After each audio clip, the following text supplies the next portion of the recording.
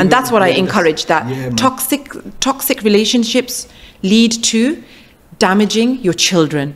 Yeah. And that's where you need to say, this is not for us. We either separate with respect, which actually I've been reading the Quran in English, uh, like properly, like absorbing it all in. And line by line, I came through like um, um, one of the parts where it was explaining divorce. And it, Allah says, divorce respectfully.